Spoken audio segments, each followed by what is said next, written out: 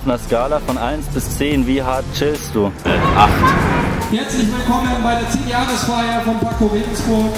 Schön, dass ihr da seid, dass wir gemeinsam 10 Jahre feiern können. Wir starten jetzt mit der Skill Competition. Challenges sind aufgeteilt in drei Levels: Beginner, Intermediate und Advanced.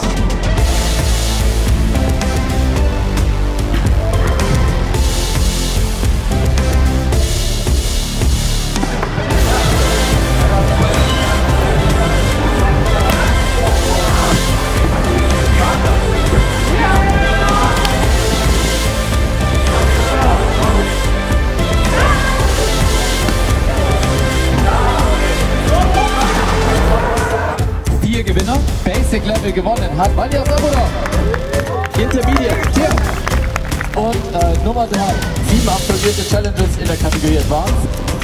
Guido. Und den One Master hat einer von uns geholt. Moritz.